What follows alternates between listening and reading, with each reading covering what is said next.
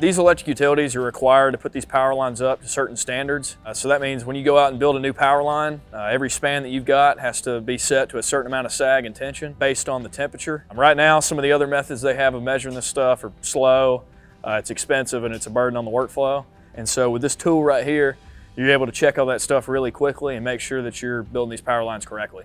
My name is uh, Zac Young, and I'm a Auburn Mechanical Engineering graduate. With the wave timer right here, all you gotta do is strap it around the power line, pull it, and within five seconds, you've got all the data on that power line you need to be able to make sure that it's put up properly.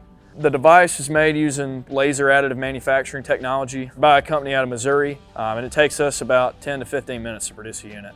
So my dad actually worked for Alabama Power back in the day. Being around him growing up, and I, that was how I took and learned the industry, and he's who really showed me that there was a need for a product like this and introduced me to the industry. And uh, through his guidance, I was able to take and start working on this product. So if you're gonna use a wave timer product, what you'd first off do is you take and click the yellow button, powers it on. You're gonna strap it around the power line, and then there's an app on your phone that you connect to. So your foreman down on the ground will be running the app. You'll press read temperature. That's gonna get the temperature of the power line as it sits, and then you're gonna press start. Your lineman's gonna pull it. It's gonna send a wave down the power line and back. And then in about five seconds, it'll tell you how much sag and tension is in the power line.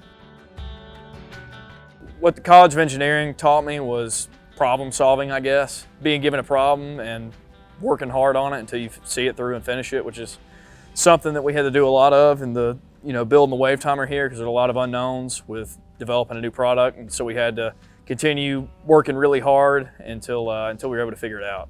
You know, Vulcan Line Tools, we just, every day we show up and work hard and we hope that, uh, you know, by continuing to do good work and building quality products and treating customers right, that we'll continue to to grow and sell more product and expand into you know other things. I enjoy getting up here every day and working hard, and uh, I want to be able to build a good company with with great people working with me and and you know do good work and enjoy what we do.